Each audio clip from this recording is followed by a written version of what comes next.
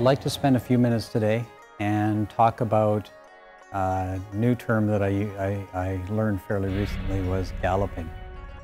And I want to spend a few minutes and talk about how we step and, and why we step the way we do and sort of draw some parallels with, uh, with, with uh, the sort of anti-galloping crowd. And when we step, it's important for us to be rooted. It's important for us to have stability.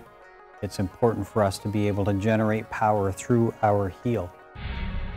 So when we hit, when we step, what we want to try and avoid is this kind of position where we've landed, but our heel is off the ground, and then we, we strike with the front foot.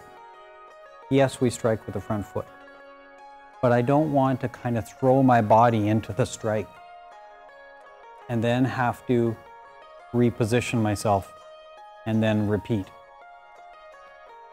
Oops.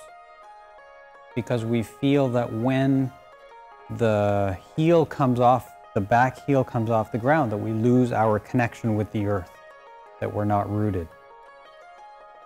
So when we step and when we hit, we try to keep this one rooted to the ground. And we hit at the moment we strike, both our feet are locked on the ground. Both our, our feet are giving us support. Then after we've hit, after we've released all the energy into the opponent, we'll take a recovery step if necessary. The recovery step will give us opportunity to throw the other fist.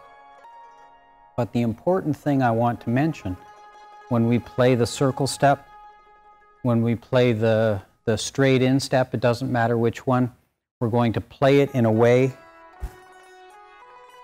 that our both our heels get locked into the ground for when we hit to generate maximum power.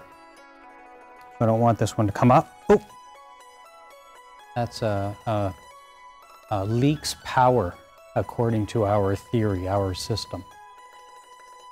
And I also don't want to hit and have no weight on this back leg uh, on the front leg, sorry. Solid legs, locked in heel, locked in heel. So when we do our stepping, we want the hit to land with the front foot. We want the back heel to be planted. So this is going to give us a little bit of power. Just put a, put a fist for me here. So when we hit, when we step, we can use that back leg for power. To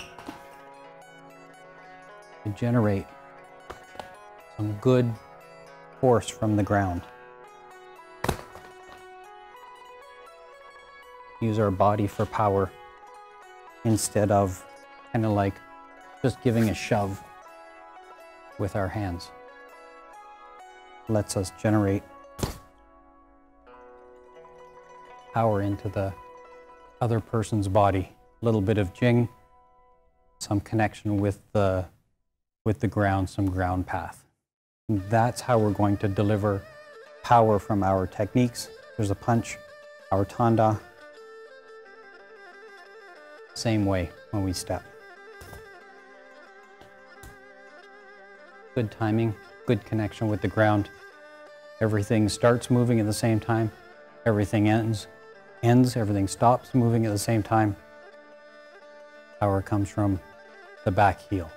And that's all I'd like to say about our stepping for this lesson. Once again, I thank you all for watching. I look forward to seeing you again. Until then, bye for now.